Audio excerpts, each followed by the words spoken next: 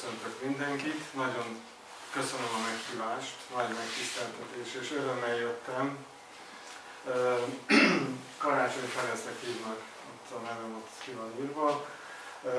Az kezdem ezzel a nyelvtörő szóval az endokannabinoid tónussal.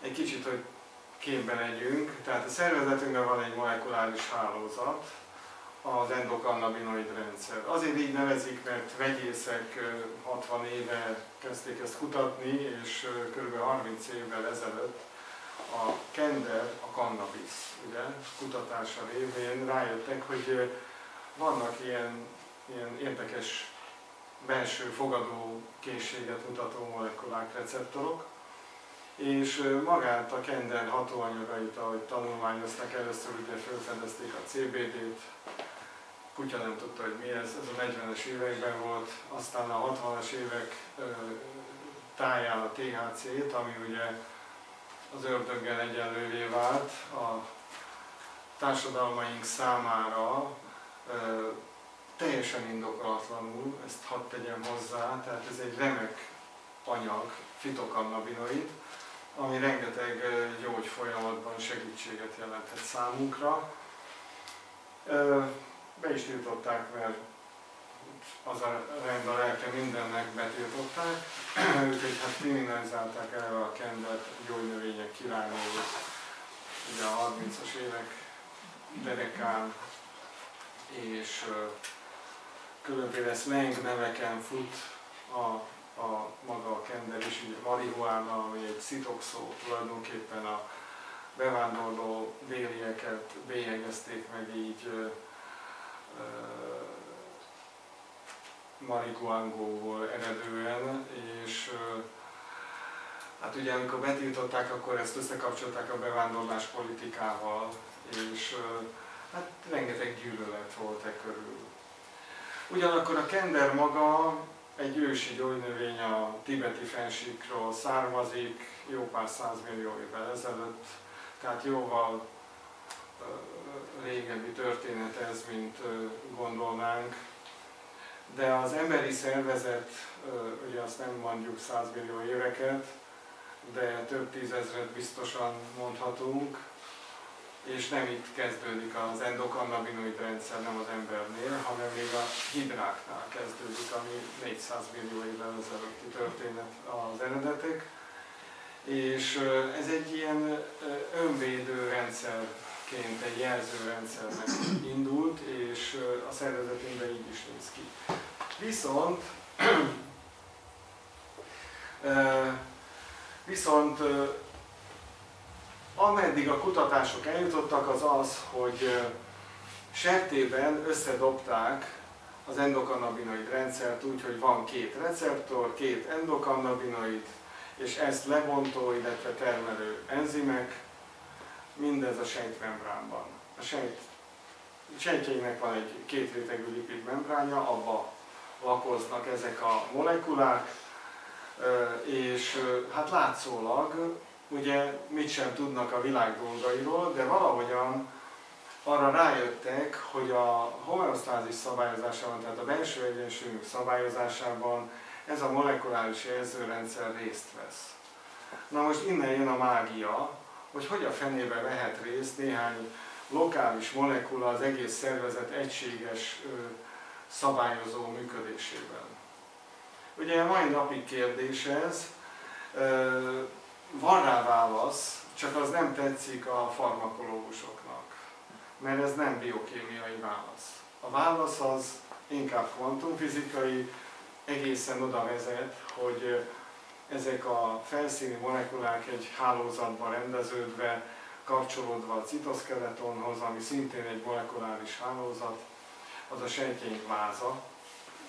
Tehát a sejtjeinkben van egy olyan váza, mint a csontvázunk, meg a ráépülő egyéb dolgok, tehát a sejtjeinkben nincsenek oldatok, hanem egy nagyon szigorú rend.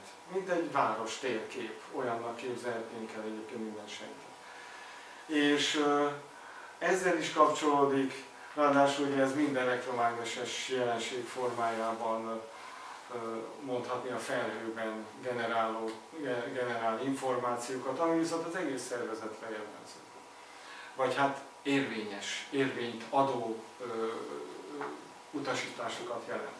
Tehát tulajdonképpen lokálisan működnek az endokannabinoidok, amik termelődnek és a receptorhoz kapcsolódnak, ugye ebben a kender nincs benne, és ez nincs is betiltva, hál' Istennek, ami bennünk van, és ezek a lokálisan működő részegységek tudnak valamit az egészről.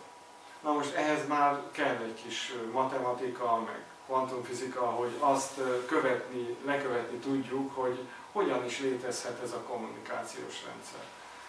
De mi nem ezzel fogunk foglalkozni, sokkal inkább a felszínnel és a makrovilággal, tehát azzal, amit mi magunkról tudunk, meg amit mi magunk meg tudunk figyelni, ez pedig az egyensúlyunk. Tehát hoztam egy ilyen egyensúlyt ábrázoló, de még elég statikus ábrát.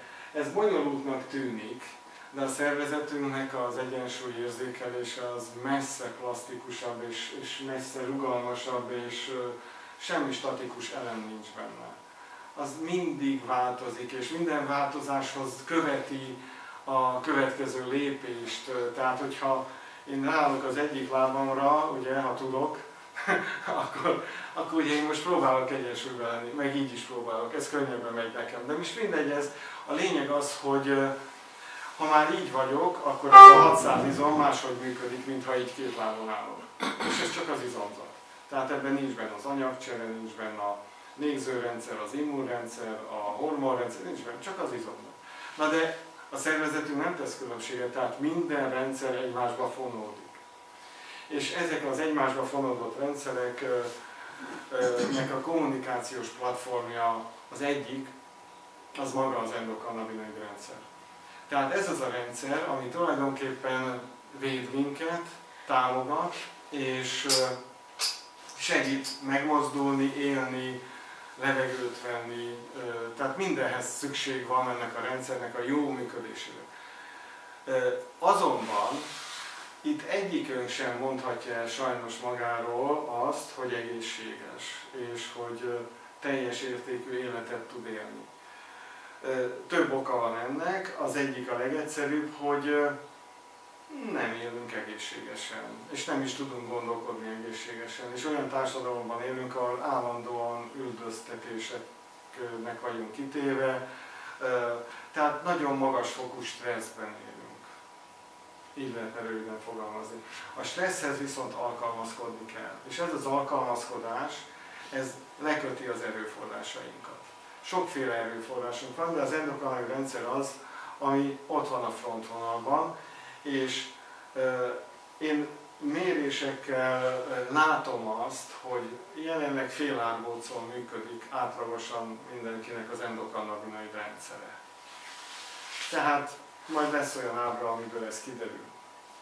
Tehát a lényeg az, hogy ö, ö, előbb sérül ez a rendszer, mint bármi más. Tehát előbb veszíti el a teljes tónusát, mint akár a hormonrendszer, akár az anyagcsere, akár a vegetatív idegrendszer. Tehát ez előbb sérül. Viszont ha sérül, akkor már nem tudja olyan jól helyreállítani a, a belső egyensúly kibillenéseit, tehát egyre inkább veszítünk az egyensúlyunkból. Tehát például az, hogy én ezen a lábamon nem tudok úgy megállni, mint ezen a lábamon, ennek nagyon sok oka van. Többek között ez az izmom gyengébb ez a csípő rosszabb, hát bejutam 60 éves, tehát igazán panaszkodhatnék, de nem azért mondom, csak azért, hogy 30 éves korban nyilván mind a két lábam ugyanolyan jó, sőt ilyen joga gyakorlatokban bővészkedni is tudtam. Gyengül ez a rendszer. És hát nem véletlenül már elkezdtem erről beszélni, itt csak azt szeretném kiemelni, hogy jelenleg ott tart a kutatás, hogy az endokrin rendszer nem két receptorból és nem két endokannabinoidból áll, hanem három receptort már mindenképpen beazonosítottunk, ami a sejtfelszínen tudja kezelni a, azokat a molekulákat, amelyik ö, aztán akár a sejt magban hatást fejt ki, tehát ugye elindul egy kaszkád, egy üzenő sor, amivel az információk bejutnak a sejtmagba, és például megváltozik a DNS aktivitása, más fehérjék szintetizálódnak, ami ugye kell az adott alkalmazkodó folyamathoz. Tehát már hármat tudunk, és három endokannabinoidot. Ugye ezek a molekulák direkt tudnak kapcsolódni ezekhez a receptorokhoz. Viszont azt is tudjuk, hogy több száz molekula kapcsolódik az endokannabinoid receptorokhoz. Tehát egy csomó terpén, csomó flavonoid képes arra, hogy akár direktbe kapcsolódjon. És ennek ugye onnantól már nem csak egy lokális hatása van, hanem onnantól az egész rendszert képes befolyásolni. Például majd mutatok olyan CBD olajokat, amiket fejlesztettünk, amik terpénben, terpenoidokban gazdagabbak, szándékosan, azért, hogy gyorsabban, elegánsabban hassanak. És még mindig szinkronban a szervezet belső háztartásával. Tehát igazából az endokrin rendszert ma a homeosztázis szabályozó mesterrendszer fő aktív résztvevőjeként tartjuk számon. Ezt csak azért mondom, mert lehet olvasni cikkeket 20 évvel ezelőtt összeolózott információkból. Ma már nem illik azokat elmondani, mert túlhaladt a, mind a tudomány, mind a tapasztalat. Tehát tulajdonképpen olyan, mintha a Búgópest is még ilyen eredeti régi történeteket mesélnénk, amikor még nem tudtuk arról, hogy vannak, vannak mikrobák, amik közül az egyik az pontosan ezt okozza. Tehát találgatások sokasságáról nem érdemes beszélni. Na most, ami a mai orvosi gyakorlatból teljes mértékben hiányzik, az ennek az endokannabinoid tónusnak a feltérképezése.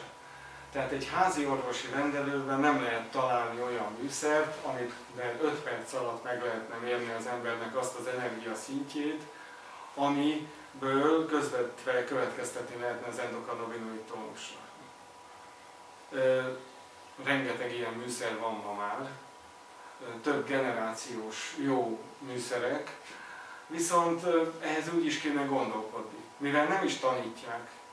És hát én például egy torontói központú nemzetközi Biokvantum Akadémiának nevezett társaságnak vagyok a tagja, és ott van endokannabinoid tanszék, amit vezetek.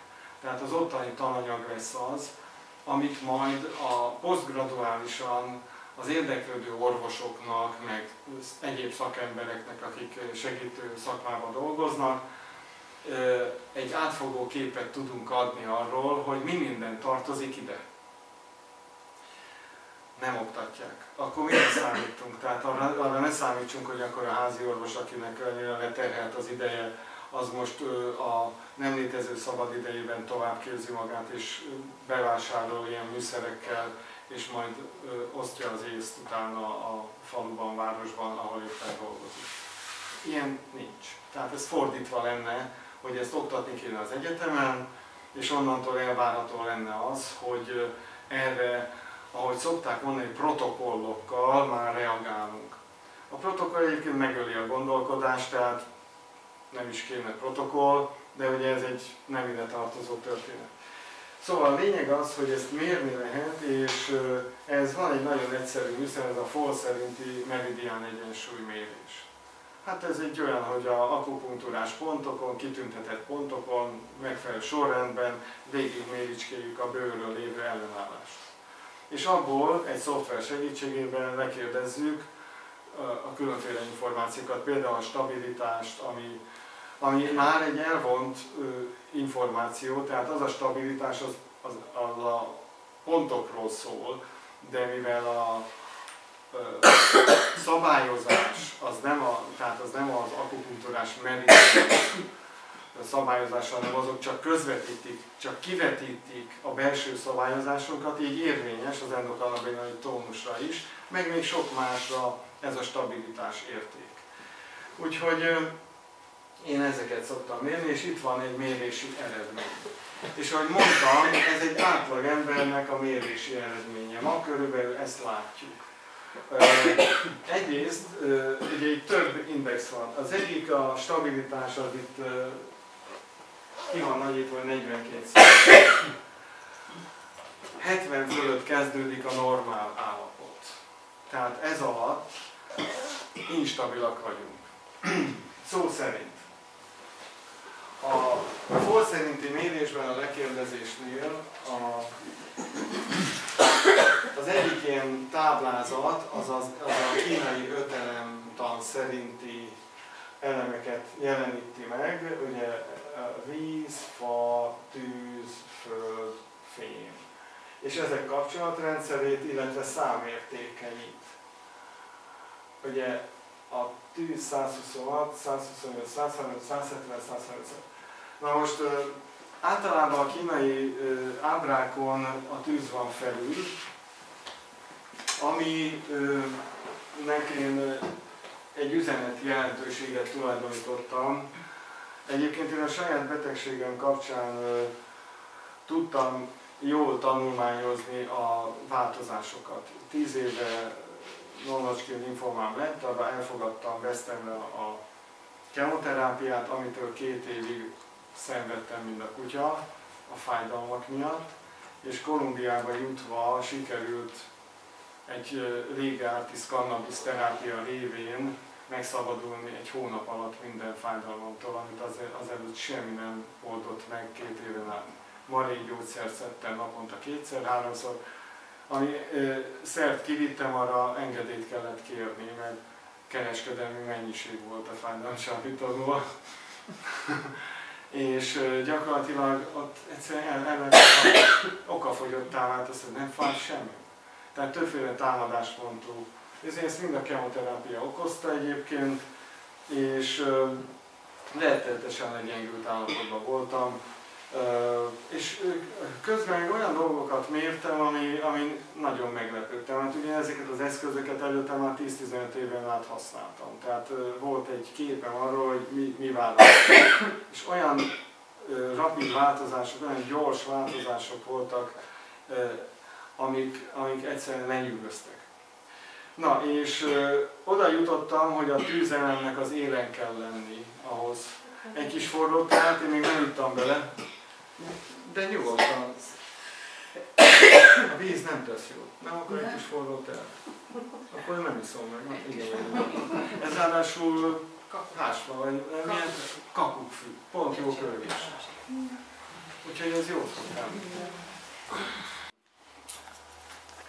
a, az egyik ilyen üzenete a régi világnak azt hiszem az, hogy a tűz az élen kell, hogy legyen. Tehát az egészség egyik kritériuma, amit egy háziorvos rendelve 5 perc alatt ki lehet deríteni, a tűz az élen van-e. A stabilitás 70 fölött van-e. A PI index, ami a gépbe egy beépített ez a PIE, az 38, mint átlag, 70 fölött van-e? Mert akinek a stabilitása 70 fölött, a PI 70 fölött és a tűz az élen van, az olyan nagy beteg nem lehet. És több ezer mérést, vagy több ezer páciens pontosabban végigmérve, sőt a korábbiakat visszanézve, mert ugye a gépeinkben benne volt egy csomó elmentett mérési adat. Tehát több tízezer mérést néztem így vissza, hogy ezt a gyanúmat igazolni tudjam.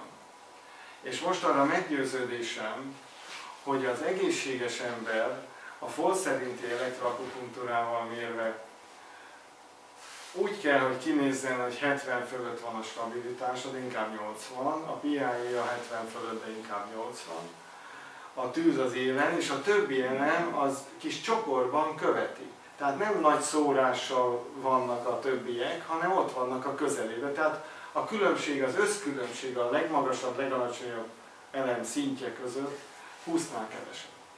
Na most itt, ha megnézzük a 126-tól 178-ig, ez 52 a különbség. És ez az 50, 30, 40, 50, inkább 40, 50, ez teljesen tipikus jellemző egy átlag mérésre, amit most meg tudok csinálni.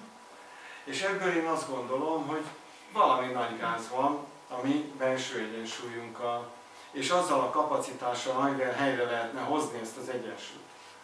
Tehát nincs kapacitásunk arra, hogy helyreállítsuk a belső. Hiába eszünk jobban. Hiába figyelünk egy csomó mindenre.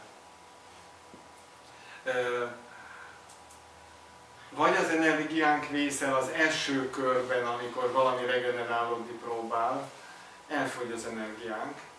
És itt éppen hadd üdvözöljem Baros László professzor urat, aki barátomat is, aki eljött meghallgatni ezt az előadást, aki a deutérium kutatásokkal foglalkozott világ életébe, és a mitokondria energiájával és az ezzel kapcsolatos táplálkozási összefüggésekkel, és tulajdonképpen az a második pillér, ami ezzel kapcsolatos. Tehát, hogy hogyan együnk, hogyan táplálkozzunk, amivel kellő energiánk is lesz ahhoz, hogy például egy regeneratív folyamatot menedzselni tudjon a szervezetünk. Én azzal foglalkozom, hogy hogyan tudjuk ezt a rendszert is tápolni, hogy ha van energiánk, akkor tényleg helyreállítsuk az egyensúlyt. És ugye ennek kapcsán még foglalkozom a mikrobiommal, a bélflóránkkal, amit szok, így szokták ismerni, hogy bélflóra, de hát ugye a mikrobiom az azt jelenti, hogy az összes mikróba bennünk, a bőrünkön, a beleinkben, nőknél hüvelyben, de minden szervben megtalálható mikrobák társadalma, közössége, az hogyan van, tehát milyen, milyen állapotban van. Tehát ugye ez a társadalom analógiában ugyanolyan, mint a mi társadalmunk. Azt látjuk, hogy nagyon nehéz betelepítésekkel megoldani a rendet. Most amikor mi laktobacillust teszünk, azt hiszük, hogy helyreállítjuk a flórát, hát nem. Tehát az kevés. Az kevés. Tehát az másképp kell táplálkozni. Tehát ott is számít egy csomó mindent. Kell a diverzitás.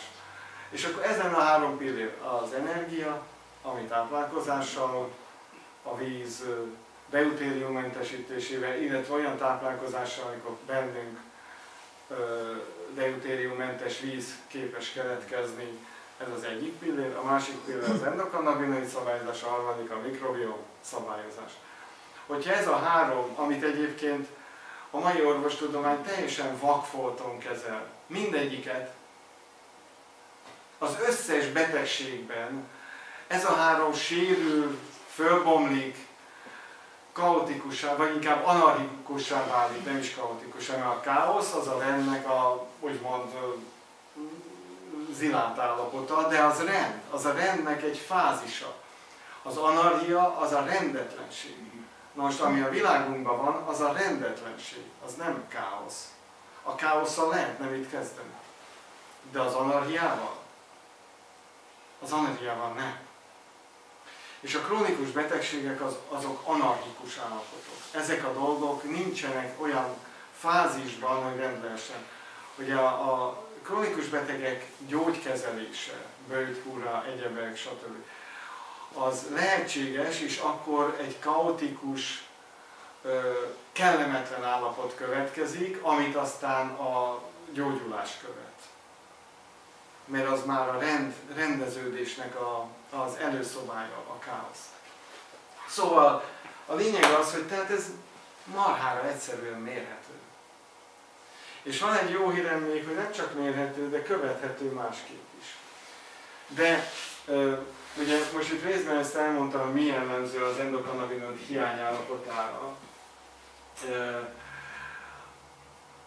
Nagyon szertágazó ez a kép. Tehát nem tudunk egy valamit mondani, ezért ugye a mai letompított, leegyszerűsített általános gondolkodás nem használható, mert ugye nem, nincsenek közös pontjaink.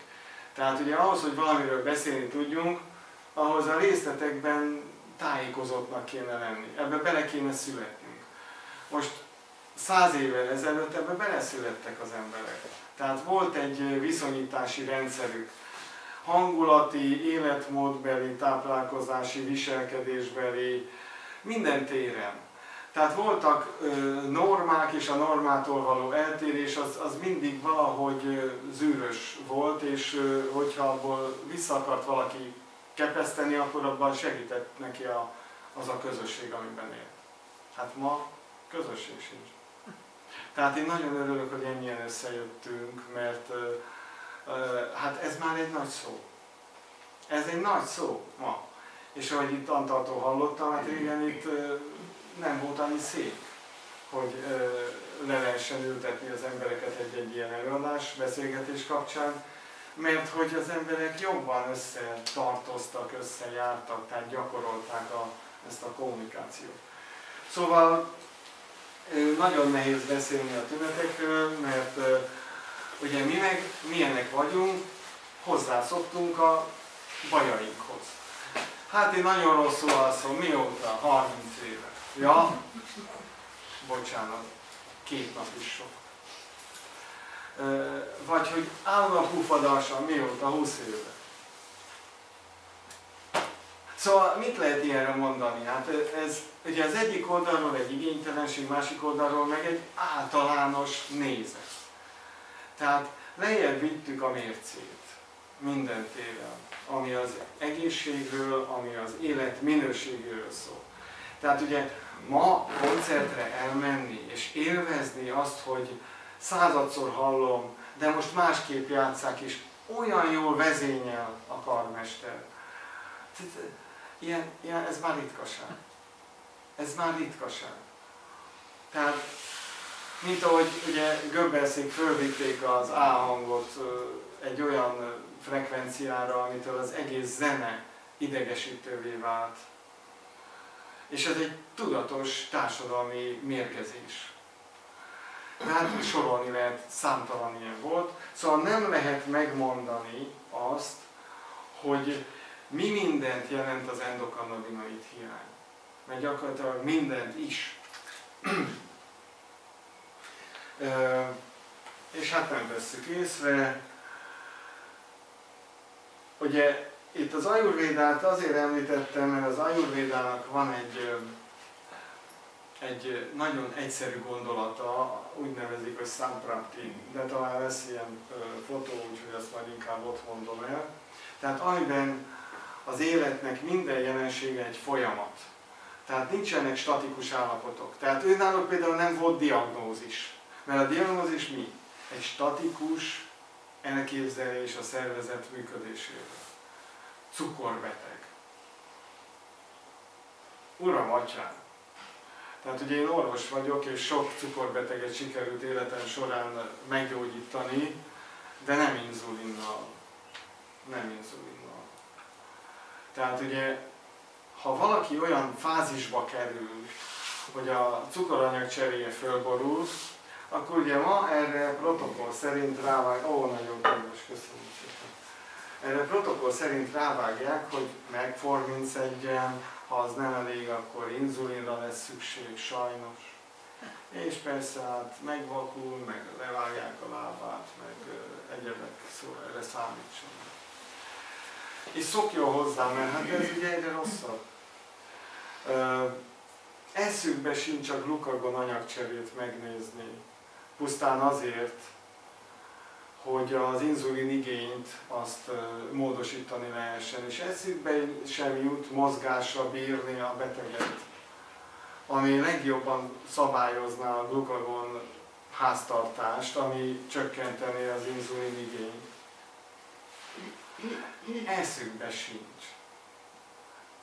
Jó biznisz a izé, pláne, hogyha hiánycentrikusan lehet az inzulin tollakat adni, mert akkor mindenki reszket, hogy megkapja, mindegy, hogy a másiknak már nem jut, nekem jusson. Tehát egy nagyon rossz szemlélet van emögött, ami teljesen biznisz alapú. Semmi köze sem az emberhez, sem az egészséghez, sem a betegségeket. Egyszerűen stigmaként kezelik a diagnózisokat statikus stigmaként. Holott a szervezet dinamikusan működik, és ez a molekuláris hálózat, amiről szól az előadásom, ez a 10 a mínusz 12-en, tehát pikoszekundum vezérléssel újra ír mindent. Tehát amit pislantok, 31 ezer év telt el. A belső műveleti sorrendben. Tehát 31 ezer évnyi számunkra a mi dimenziónkban 31 ezer évnyi műveletet csinál meg a szervezet. Újra szabályoz, újra szabályoz, újra szabályoz, újra szabályoz, és csak egyet is van Egy másodperc. Tehát ezt nem tudjuk követni. Esély nincs rá, hogy ezt kövessük. De nem is a mi dolgunk. Tehát ez, ez működne akkor, hogyha ö, mi csak boldogok lennénk. Egyszerűen. Ennyi. Tehát ugye a tűzelem egyébként azt jelenti, hogy az az elemek közül a szeretet kifejezője, ha magas szinten van, ha alacsony, akkor gyűlölet. Tehát ugye egy skála van, ugyanaz az erő, más energiaszinten mást jelent. És ugye a magas szinten azt jelenti, hogy tolerancia van, szeretet van, béke van, elégedettség van. Ez az, amire tulajdonképpen törekednünk kéne, hogy minden nap ezzel zárjuk a napunkat. És hát az önismeretről mindjárt lesz sok szó. Igen, ez az ajurvéda, pont ez a következő. Tehát folyamatokban gondolkodnak, nem statikus állapotokban. Tehát minden elkezdődik, tart és befejeződik. Ezt valahogy így kéne felfogni minden betegségre. Elkezdődik, tart, befejeződik. Tehát egy cukorbetegségnek van eleje, közepe, vége, és utána az ember nem halt meg, hanem már meggyógyult, és korábban cukorbeteg volt, és levonta a tanulságokat. Másképp fog táplálkozni, más lesz a mozgáskultúrája, másnak örül, máshogy kommunikál, mások a fontosságok az életében. Tehát aki meggyógyul, többnyire gyökeresen megváltozik. Gyökeresen. Na és a, az Ayurveda ezt a folyamatot, amiben kialakulnak a betegségek, Sampraptinak hívja. Milyen szép indiai név. Hat fázisát mutatom itt be. Az első az akkumuláció, amikor fölgyűlik valami, valahol. Második, a, a, amikor ez a felgyűlt anyag provokálni kezdi a, a mini környezetet. Most gondoljunk csak arra, hogy belélegezzük a sok szennyező anyagot. Az földgyűlik a tüdőnkben, először ott, ott fog provokálni. És ez még csak a provokáció után a spread, a szétterjedés időszaka következik, majd új helyen lokalizálódik. Ugye a, ez a négy fázis az, amit a mai orvostudományunk nem lát. Tehát erre nincs diagnosztikánk. A laborérték még mindig ugyanolyan jó, mert a laborértékek azok gyakorlatilag a vér homeosztázisának a kifejeződései. Tehát az nem fog elmozdulni, mert halálos lenne, hogyha a kálium 6 lenne például. Nem. A szűken bent tartja a 4-4,5 körüli állapotban, millimoltól itel, mert ez az, ami az élettel összeegyeztethető. Sem a kevesebb, sem a több nem. Ezért mit csinál a szervezetünk? Elveszi onnan kell, vagy kilöki ahova kell, ahova, ahol, ahol nem okoz zavar. De ugye a kálium az egy elég kardinális elem, az a sejtjeinkben is nagy mennyiségben van, de nem koncentrációban, mert nem oldatok a sejtek. Tehát több van, mint nátrium, lényegesen. Na és ez a négy fázis, ez ugye az indiaiaknak az ayurvédában nagyon jól fölismerhető volt. És a integratív medicinában ugyanilyen jól fölismerhető. Egyedül a klinikai medicinában nem.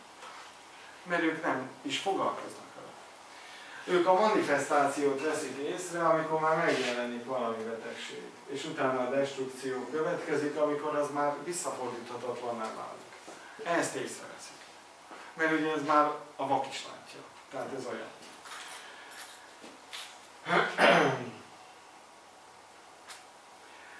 Van egy nagyon érdekes, így a folyamatra vonatkozóan egy nagyon érdekes világkép, amit egyébként a Rudolf Steiner, az antropozófus medicina nagyon precízen leírt. És ezt azért tartom fontosnak, hogy tudjuk, hogy van egy 7 éves ciklus, tehát van ugye egy napi ciklus, a nőknek van havi ciklusuk, éves és 7 éves ciklus is van. Ez a 7 éves ciklus, ez ugye a buddhista tanokban is megjelenik, az első 7 év a fizikai kifejlődés időszaka. Tehát a testet kell táplálni magyarán. Tehát egy kisgyereknek a testét kell táplálni. Igaz ez? Nagyon. A második hét év az érzelmi kifejlődésnek az időszaka. A második hét esztendőben nem iskolába kéne betolni a szerencsétlen kölyköket, hanem közösségekben tartani őket, ahol az érzelmeiket megtanulják kifejezni, feldolgozni, és a mások érzelmeit megtanulják tolerálni, kifejezni, feldolgozni, tehát egy kölcsönhatás révén emberré érnek. Nem infantilis kis szutykok maradnak felnőtt korukra is. Tehát ma a celebeken jól látjuk, hogy egytől egyig infantilis kis senki. Érzelmének toprongyok. Gyakorlatilag megrekedtek egy olyan fázisban, az érzelmi emésztésnek olyan fázisában, ami teljesen eltorzította a jellemüket. Ugye hát azon látjuk, aki szerepe, és azon hogy ránézéssel lehet látni. És ez valahol az iskolában dől el. Ma. Tehát ugye a természeti népeknél dramatikus játékok vannak, vagy hát hívjuk akárhogy. Tehát ők végül is szertartásokban nőnek föl. Az érzelmeket ugyanis nem lehet gyorsan emészteni. Az érzelmi emésztésnek van egy alapábrája, amit Elizabeth Kübler-Ross a haldoklás fázisaiként leírt. Ugye onnan indulunk, hogy ez nem csak a haldoklásra igaz, hogy az öt fázison végigmegy a, az ember jó esetben, hanem minden érzelemre igaz. Tehát mindegyiknél kezdődik az elutasítás, a dű, az alkudozás, a depresszió és végül a megnyugvás. És ez az öt fázis érdekes módon az öt elemnek a, megnyilvánulásaként is leírható, és ezért nagyon érdekes például a FOL mérésnél megnézni, hogy melyik van az élen, melyik hogy van, mert valószínűleg egy olyan érzelem tenk túl, például a faelemnél a dű, ami ugye azt mutatja, hogy egy csomó érzelemben az adott személy, akit mérünk, az nem jutott tovább a dű fázisánál. És aki felnőttként találkozik azzal, hogy az érzelmeit emészteni kellene, és meg kellene tanulni, végigmenni ezen a soron, az tényleg csak halálkor jut oda, hogy ezen az öt fázison végigmenjen jó esetben. Mert sose lesz ideje arra, hogy egy érzelmet feldolgozzon, mert például egy házasságkötés egy óráig tart. Nem három napig, nem tizenkét napig. Ugye régen a lagzi minimum három napos ünnep volt. A tor is három napos ünnep volt. Minimum, mert közben az embereknek egy csomó érzelme előjön, kommunikálnak egymással, és úgy érik meg, és úgy dolgozzák föl. Minden gyász feldolgozás szintén ezekről az érzelmekről szól. De ugye nem, nem csak a negatív érzelmek, a pozitív érzelmeket is öt fázisban emésztjük meg. Az örömöt. Az örömöt ki kell fejezni, meg kell osztani. Az ugye adok-kapok. Tehát van, ahol az irigység jön vissza. Valahogy azzal boldogulni kell, hogy hát ezt is helyre kell tenni, magunkba legalább. De a lényeg az, hogy időigényes az érzelemfeldolgozás. És akkor érünk a végére, amikor megnyugszunk. És ugye ezért van az, hogy általában véve minden napunkat békében kell lezárni. Mert azzal azt jelenti, hogy az aznapi érzelmekkel boldogultam. Meg tudtam oldani azt, hogy, hogy végigmegyek ezen az emésztési soron. És ha valami elmarad, akkor nem fogok olyan jól aludni. És másnap legalább vegyem az erőt és a, a figyelmet, összpontosítsam, hogy, hogy az érzelmeimet fel tudjam dolgozni. Na most, aki 30 éve nem alszik jól, az mit csinált 30 évig? Hát biztos nem az érzelmeit emésztette meg. Kellene? Igen. Na most a, ez a második hétesztendőnek az amúgy meglévő belénk írt programja. A harmadik hétesztendő az a szellemi fejlődési. Tehát a érzelmileg érett 14 éveseket lehet bármire tanítani, mert olyan az agyuk, mint a szivacs. Egy nap alatt többet befogadnak, mint előtte évek alatt. Tehát nem késünk el semmivel, ha ekkor akarjuk a, tömni a fejükbe a tudományt. Bőven elég. És ők lesznek azok az ilyen érzelmileg fejlett nebulók, akik a tanárukat képesek kiavítani, mert egy pillanat alatt jobban látják a helyzetet. Csak ugye ezt hány tanár vigy el sem? Érzelmileg, ott ugye, akkor már, ugye ott, ott van a probléma, hogy megsértődik. Na és akkor ez a 7 éves ciklus, mint látjuk, ez újra kezdődik. Tehát a második esély az érzelmek feldolgozására így hivatalból 28-tól 35 éves kor.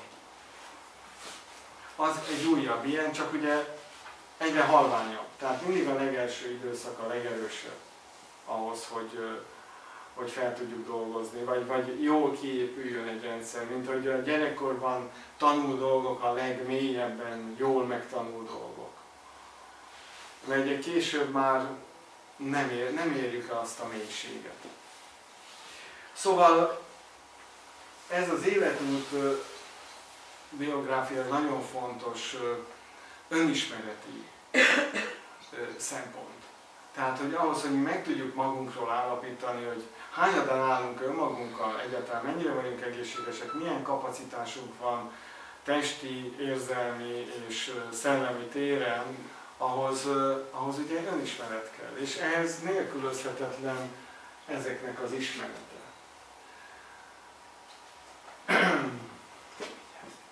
Na most úgy kéne kinézni egy orvosi anamnézisnek, egy első találkozás, orvos-beteg találkozásnak, hogy az életünk biográfiát fölállítja az orvos. A beteg segítségével, aki nem is biztos, hogy beteg, mert ugye nem kell, hogy beteg legyen egy házi orvosi rendelőben, hanem csak megkésve.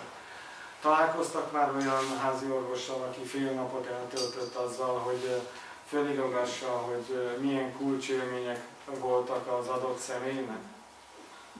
Most enélkül mit fogunk kezelni? Mi a túrót fogunk kezelni? Hát egy jó szert felírjuk. Az egy jó biznisz. Ugye erre Rockefellerék ezt kitalálták, hogy ezt így kell csinálni. Szóval az önismeret, és azt gondolom, hogy ehhez a kulcs az önmegfigyelés. És ebbe, erre térek rá most. Ugye a kezünk mindig kéznél van, ez egy szerencsés véletlen, már akinek megvan mind a két keze. Ugye ez nagyon régóta minden ilyen úgymond tradicionális medicinában kulcskérdés volt, hogy, hogy ismerjük-e a reflexzónáinkat, tudunk-e párhuzamot állítani bizonyos testrészek és bizonyos erők között. És a, a kézre ugye megvan, az ujjakra is, meg magára a kézre is. És hát itt ez nagyon fontos, hogy itt most átvegyünk az indiai ötelembe, ami az éter, levegő, tűz, föld, víz. A kínainál tűz, fa, föld, fém, víz van, és ezt azért írtam oda, hogy az ujjak minek felelnek meg, hogy abból is nagyon sok mindent ki tudunk sütni, de mivel az olajok ájurvédikusak, ezért alapvetően ezt a gondolatmenetet követtük. És hogy most az őselemek mit jelentenek, tehát ez, ez erről csak nagyon röviden azt szeretném mondani, hogy a levegő az nem csak az a levegő, amit beszélünk, hanem az egy közeg. A víz nem csak az, amit megiszunk, meg amin csónakázunk, meg akármi, ami folyik a folyókba, hanem egy közeg, és annak elvont tulajdonságai vannak. Elvont tulajdonságai. Tehát különbözőek ezek az elemek, ha úgy tetszik, és az éterről ráadásul a mai tudományok alig van fogalma. Tehát az étert Einstein kipécézte, vagy kilökte a tudományos világból 1905-ben. A globalisták ezt nagyon kapóra jött nekik, mert akkor így a mérgezés, a gyógyszerezés irányába tolhatták a tudományt. Megjelent minden cikkben, minden, minden tudományos folyóiratban, és aki ellenszegült, az úgy járt, mint aki most a Covid téren ellenszegült, hogy azt valahogyan meghurcolták. Elvesztette az állását jó esetben, vagy ki is nyírták rossz esetben. Tehát ez nem változott, és 20-ra már kijelentették tudományos konferencián, azt hiszem Weimarban, hogy nincs éter. Na most az akasa, az a indiai szellemtudományban az éternek megfelelő információs mező. 50 évet vesztett a tudomány, mire visszakerült a kvantumfizikába az éter, mint kvantumvákum teória. Tehát az az információs mező, ami a meg nem testesült, anyagivá nem manifestált energiáknak a tere. Ez az éter. És ugye az éter egyébként bent van a nyelveinkben. Tehát például az adás, az, az angolul az éterbe megy, ugye? On éter. Tehát úgy, úgy, úgy mondanak ilyeneket, sőt, hát filmstúdióban ez van kiírva. Tehát, mintha utalnának arra, hogy a nem látható dimenzióban hogy terjed az információ. Mert ugye a rádióhullámokat most se tudjuk látni, csak érzékeljük a telefon meg egyéb segítséggel, hogy van. Tehát ezek létező energiák, és na, az éter az valamilyen különleges dolog egyébként, a, ez az újunk az éter, amire egyébként az eredeti izé, mudra, kéztartás, az ez. És itt, itt kell tartani, és még mormogni is kell valamit, amit most én nem fogunk bemutatni, de ugye ez egy több perces meditációs forma, és a gyógyító kéztartásokra az jellemző, hogy van több ezer, és ezzel is lehet manipulálni az egész testünket. Tehát ezek az információk kölcsönhatásban működnek. Szóval az, hogy valami van az középső ujjunkkal, az azt jelenti, hogy elszabadult a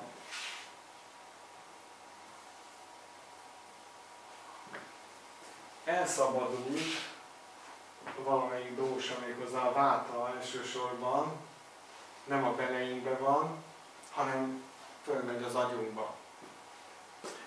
Ugye a Parkinson-kor az egy ö, ö, ilyen megkerült váta, így is hívják a Ayurvédában, a megkerült váta tünete. Egyébként emésztési zavar az mindig pszichés következményekkel jár. Mindig.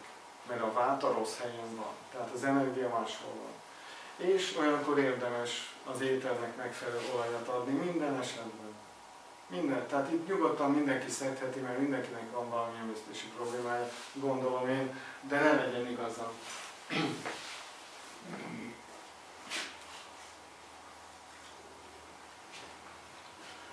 Na most különféle ön, önmegfigyelés, tehát különféle érzékelő képességeink vannak, aminek vagy van zavara, vagy nincs. Tehát ugye van, aki úgy hal, mint egy macska. A szaglása a kutyáé, a látása a sasé, a tapintása, nem is tudom mit mondjak, kígyó, vagy valami. Vagy valamilyen okos állat, amelyik mindent kitap. Az ízlelése az meg vetekszik mondjuk egy csomó ragadozóval. De azért lássuk be, hogy nem, nem ilyen jók a képességeink. És hogyha valaki például nagyot hal, az bizony jó, hogyha ételre ható olajat szed folyamatosan. Ha valaki rosszul lát, vagy pápaszemes, ugye erre mondják a japánok, hogy a, a szemüveg az olyan, vagy nem is ezt a buddhisták mondják, az olyan, hogy elveszett a jövőkép. Ebben nagyon sok igazság van. Tehát, hogyha nagyon mélyre megyünk önismeretben, akkor ugye nem az időskori látás, romlást kell nézni, hanem az időskori vagy az idősödő kori életperspektívák elvesztését kell nézni, és onnantól már is rá találtunk arra, hogy a látásunkat hogyan lehetne javítani. Ugyanis lehet. Először is nem kéne a monitort nézni, tehát az életvitelünket át kéne alakítani, másrészt lehet edzeni a szemet. Mert ugye az összes ilyen szemzavar, az a szemgolyó torzulásával alakul ki, nem csak a rugalmatlansággal, de ez a kettő még össze is függ. A szemizmok tónusa kórosan, tartósan megváltozik.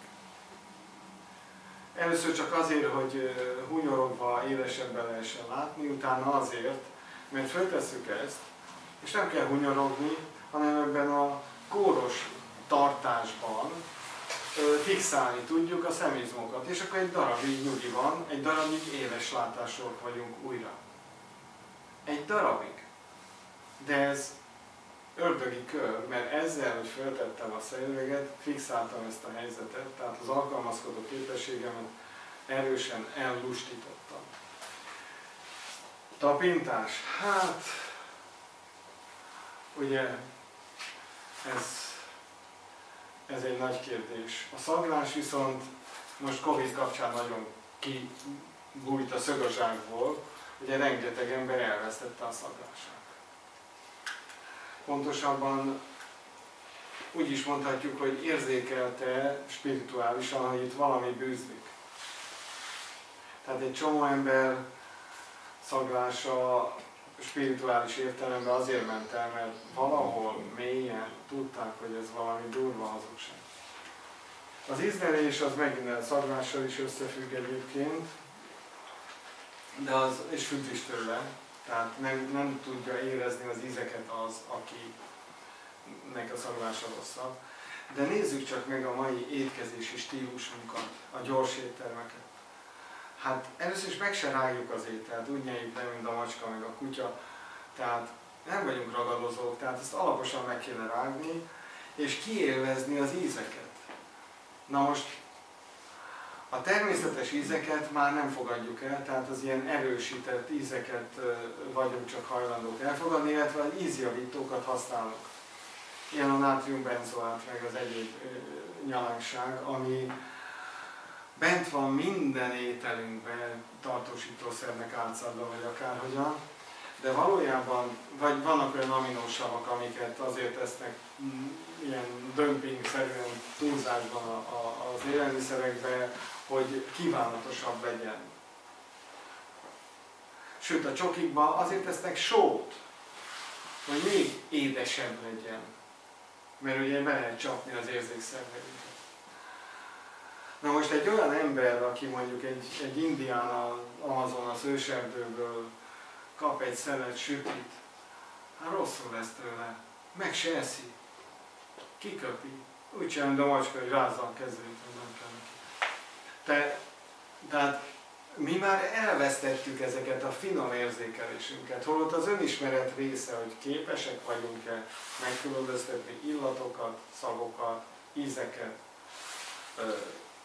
érzeteket, tapintási érzeteket, stb. stb. Nem vagyunk képesek. Tehát itt bőven van mit visszajavítanunk önmagunkon, és az az érdekes, hogy ha valaki elindul ezen az úton, minden jobb lesz. Mindent érzékelhetően jobban fog tudni csinálni.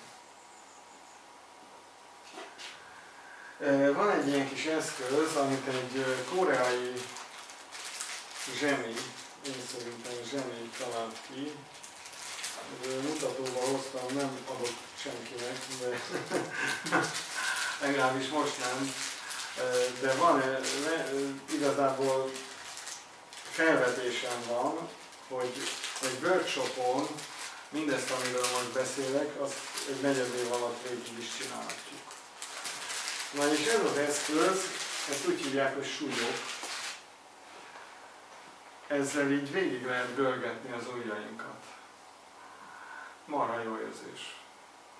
De némelyik ujjunk kényelmetlenül fájdalmas, érzékeny, stb. Na, azt az olajat már is lehet használni, amikor valami gebasz van, ilyen furcsa érzésünk van, Egész biztos. Na most az, hogy ezt végigcsináljuk naponta 5 perc se kell hozzá, már is önismeretből jól vizsgáztunk, mert tettünk valamit, amit figyelünk, és ebből már is kiderítettük, hogy egy-kettő vagy három olajból kell egy-két sprével a szánkba spriccelni, amitől azt reméljük, hogy majd az az érzet, amit így tapasztalunk, az elmúlik-e hamar.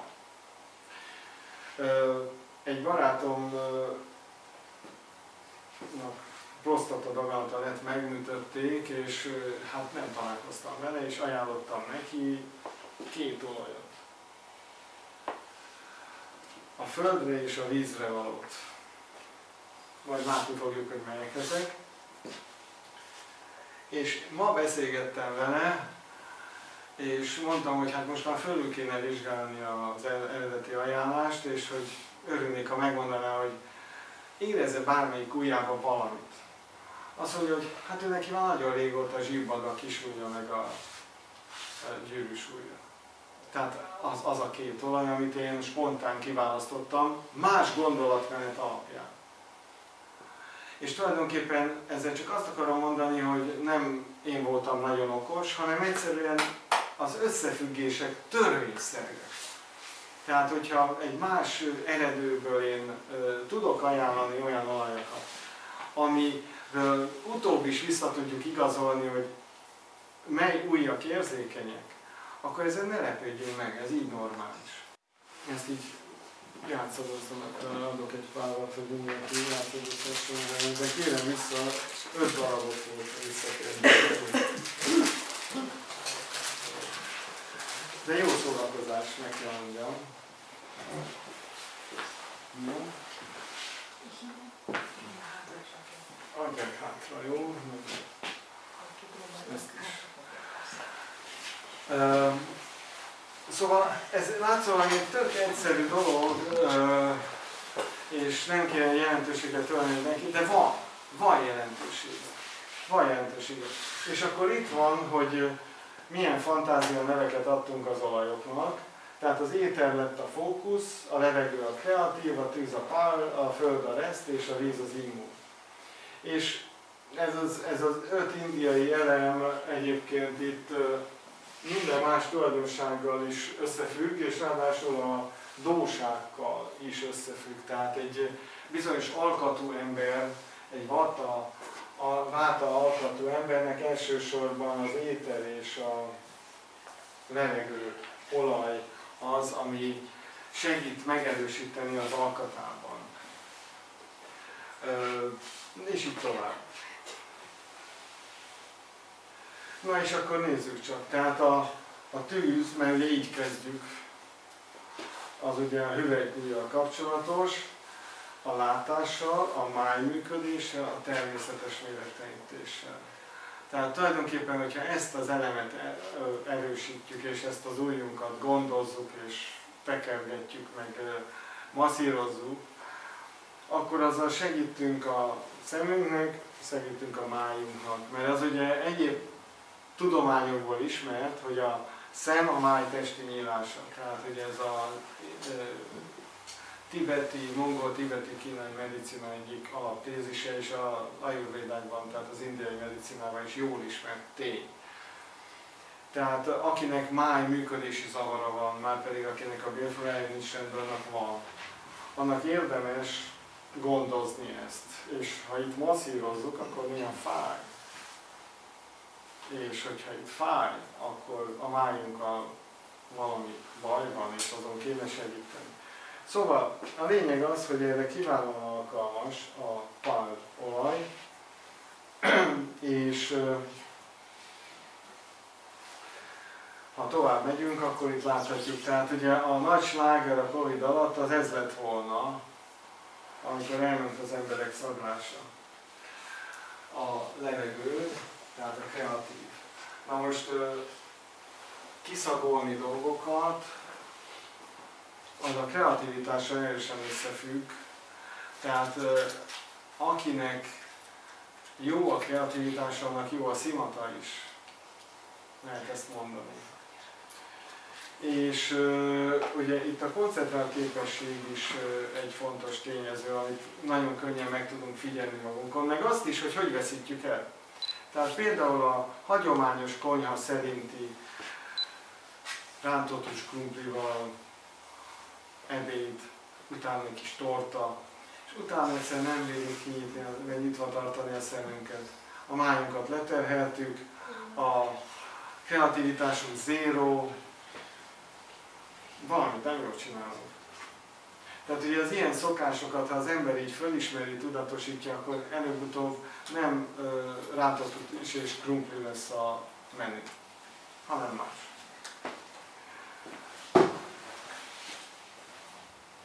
A, tehát az ételről már sokat beszéltem, és igen, ez a Hasti Ratna Mudra az, amit, amit így mutattam, és a, amit mondani kell, az Om Hasti Ratna Pratichahum Svaha.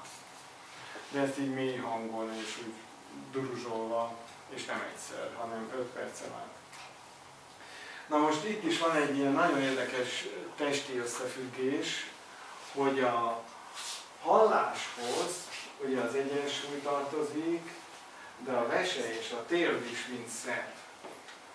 Tehát akinek tér panasza van, az előbb-utóbb nagyot fog hallani, mondjuk 10-20 évnek el kell tenni, de sajnos ez, ezek összefüggenek, és nagyon gyakori a nagyot hallás, meg a gyerekkori középfüggőadás után egy 10-20 év múlva vese működési zavar. Ugye ezt a mai medicina azt mondja, hogy biztos olyan bacil volt, amitől a veséje tönkrement, autoimmun folyamat, nem. Energetikai folyamatokról beszélek, itt nincs autoimmunitás, nincs is autó, tehát semmi, semmi, amit a mai medicina ilyen mű, bűvszavakat alkalmazott, mert ezek kitalált szavak, kitalált fogalmak, ami mögé nem lehet berendezni az egyetemes életet. Ezek, ezek, ezek biznisz fogalmak. Tehát,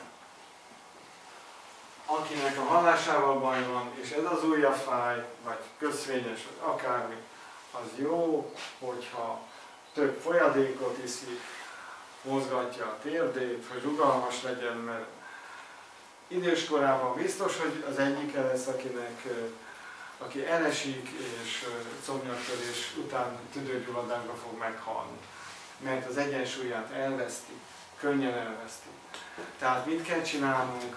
Ideje korán visszanyerni az egyensúlyunkat, a rugalmasságunkat, és az a hallásunkat is megvédi.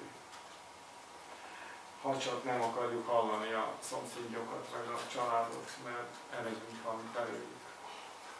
De akkor meg ugye dönteni kell, hogy egy új környezetet kell választani, hogy ne halljunk bele a rossz környezeti adaptációba.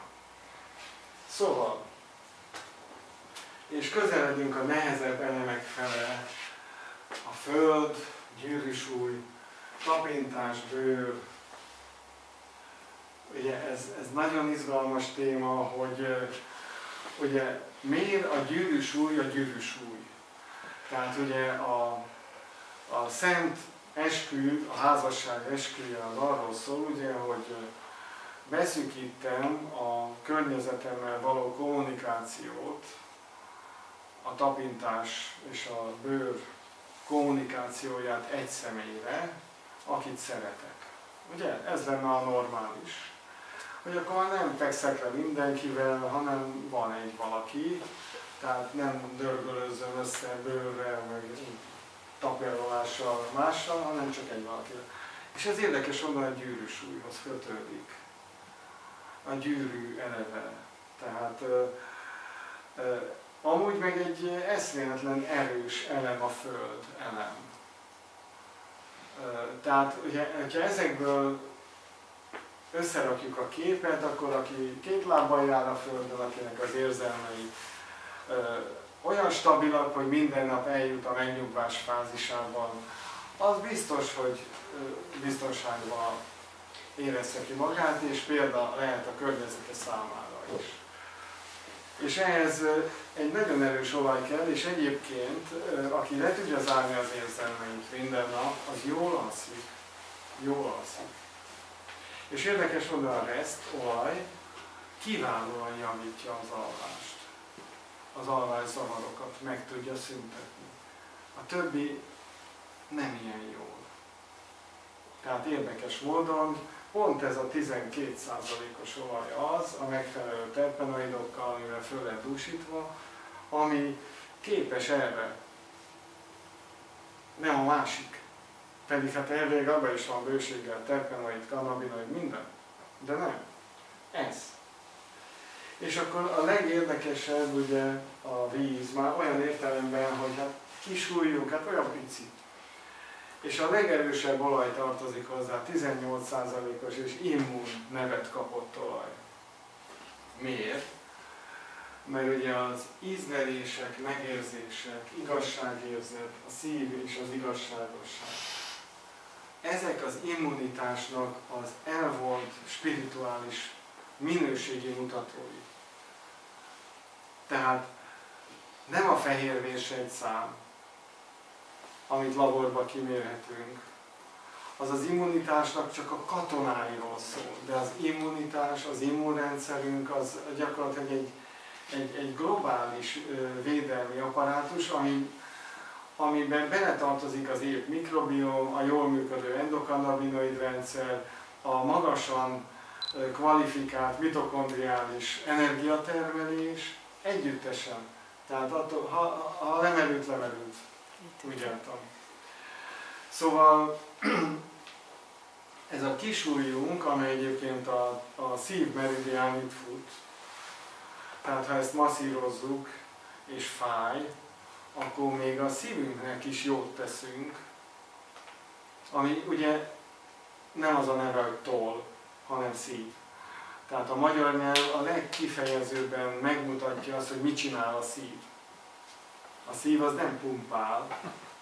Először is, ha azon múlna, hogy pumpáljon, hogy keringel vélünk, ez, ez dinamikailag lehetetlen. Tehát ugye a, a, a szívünk egy ritmust ad, egy euritmiát jó esetben, a keringő folyékony szövetünknek a vérnek. A, a vér viszont azért kering, mert vannak izmaink, ami képes az izompumpával továbbítani a vért, és vannak kapillárisaink, amik képesek kinyitni, összezáródni, és azáltal a, a, a vér szétterülésében segítenek, és utána a nyirokrendszer az összegyűjtésében segít. Tehát ugye a szív az valójában kiszívja a vért a vénák, nagy vénákból, amiben ugye ott gyűlik, addigra összegyűlik az összes nyiroknedv és a, a visszáramló már elhasznált vér, az összegyűlik a véna rendszerben, és azt szívja meg a szív. Tehát a kardiológusok homályban vannak. Azt se tudják, hogy a szív az szív pumpa funkciót javítanak digitális. Gőzük nincs. Tehát ugye megint a legnagyobb probléma az, hogy egy kardiológusnak is elsődlegesen az lenne a feladata, hogy mozogni tanítsa meg a betegeket. Mozogni. Meg aludni, meg helyesen táplálkozni, és az érzéseikkel jól bánni. A gyógyszer itt még elő se jön. De hogyha ez mind megoldódik, akkor nem is kell. Nem is kell. Szóval a víz, mint a legnehezebb elem, mert ugye fajlagosan mégiscsak ez a legnehezebb, nem a föld. Tehát a, a víz az nagyon nehéz, és az mindent kitölt, tehát ugye az utolsó részig kitölti a teret, és ezáltal nehéz, mert a levegő is kitölti, csak az ugye falsójában sokkal könnyebb a Föld meg nem tölti ki. Szóval ezek az elemek, és uh, hogyan lehet ezt a már ki pallérozott önismeretünket használni? Hát úgy, hogy uh, uh, hát így az ujjaink alapján két-három olajat ki lehet választani, rendszerint egy-kettő biztos kell. De hát én, én azt csinálom meg, én ezt úgy fejlesztettem ki ezt a módszert, hogy én az öt elem szereit dinamikusan kezdtem használni. Egy kicsit fájt a kis, akkor immunból fújtam be, ha ez fájt, akkor az kreatívból, és így tovább. És hát a lényeg az, hogy kis adagokat kell csak használni. És hogyha ezt a súlyok eszközt naponta többször használjuk, akkor mondjuk háromszor, akkor ez a három alkalom elég arra, hogy én aktuálisan azt a olajat befújjam egy-kettő-három puffot maximum, nem kell több. És azt fogjuk észrevenni, hogy ami eddig hónapok óta nem múlt el, az hetek alatt. Fájdalom, diszkomfortérzés, mozgáskorlátozottság, egyebek. Na most ugye egy idő után tele van vityökkel az ember keze, azok lassabban múlnak el, a kis deformitások el tudnak múlni évek alatt. De nem gyorsan. Hogy mi a jelentősége? Hát nem, a, nem az esztétika elsősorban, a funkció. Tehát ugye egy, egy gübecs nekem a kemó után ez az ujjam eszméletlenül fájt. És itt lett egy pukli, ami ilyen húcsav felhalmozott, tehát ilyen köszvényes jellegű panaszként jelentkezett. Most egész jól néz már ki. És köszönhető, hogy gondozom. De hát ugye a kemoterápia az, az pont, ja itt már végeztünk is. Igen. Szóval végeztünk. Ja, nincs több mondandó, csak kérdése, tehát válaszolnék a kérdésekre. Tehát annyi mondandó, hogy indítványként ezt a helyet én nagyon szeretem, és szívesen felajánlom, hogy ilyen workshopot érdeklődőknek, csak hát legalább 6 fő legyen, mert hát az a minimum, de 2, 4, 6, 8, 10, ez, ezen az ideális, hogy egy tucat ember, mert ez úgy néz ki egy workshop, hogy mindenkit megmérek, mindenki így egymással, mert hát ez családias kör, tehát ugye itt nem titkokról van szó, hanem egyszerű dolgokról, meg tudnám tenni azt, hogy akkor a visszajelzéseket így mindenki tanulhat belőle. Egymástól tanulunk gyakorlatilag ezzel, és ugye be lehet szerezni akkor ezt a kis eszközt, meg mindenki vásárolhat magának olajokat. Ugye itt nincs erőszak, amennyit akarunk, de, de mondom, hát az igazi az, hogyha mindegyikből, az mondjuk már elég drága, mert hát az öt olaj ez 120-150 ezer forint között mozog, attól függ, hogy van-e valami akció. És hát ez mondjuk sokáig elég, ez úgy elég egy fél évig. Kb. Ilyen tempóban. És egy ilyen kurzus az negyed év, mert eközben a változásokat, azokat követni tudjuk. Van egy alapolaj, egyébként, ami az egész, amiből áll, tehát amire rágusítottuk a többi terpenoidot, abból lehet csinálni egy tartósabb szedést, azért, hogy az endokannabinoid rendszernek legyen egy állandó stimulációja, amire emeljük a tónust. A workshopban az a lényeg, hogy másképp értékeljük az amúgy jelentkező tüneteket. Tehát a, a szervezet a degenerációja során egy csomó kellemetlen tünetet produkál. Ezeket mi betegségeknek hívjuk, valójában a többség az gyógyulási folyamat kórjelző tünete. Ugye, hogyha ezeket mi ö, rosszul kezeljük, például gyógyszereket szedünk, az olyan, mint a szemüveg. Tehát konzerválunk egy rossz állapotot, és nem hagyjuk, hogy ezt ki tudjuk javítani. És ha nem félünk a tünetektől, legegyszerűbb a láz, a bőrkiütések, hasmenés, hányás, egyebek. Ugye ezek az általános tünetek. Ha ezektől nem félünk, akkor megismerhetjük azt a folyamatot, hogy hogyan szabadulunk meg tőlük. Tehát, hogy el fog múlni el fog múlni, úgyhogy nem lesz bajunk, sőt, jobban leszünk, megkönnyebbülünk. Tehát tulajdonképpen ez a lényeg. hogy az önismeret részeként megismerjük a saját szervezetünknek a regenerációs képességeit és ezeket a folyamatokat. Például a vérnyomás kiugrás. Gyakori. De nem kell félni tőle. Vagy pulzus megugrik, nem kell félni tőle. Kezelni kell.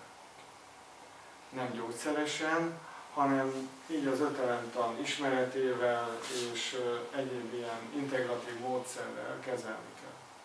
És annak az egyik legjobb módja, hogy segítjük a szervezetet, az endokannabin rendszert egy jobb tónusba működni. És természetesen ehhez szorosan hozzátartozna a bélflóra korrigálása és a táplálkozás, az energetizálás.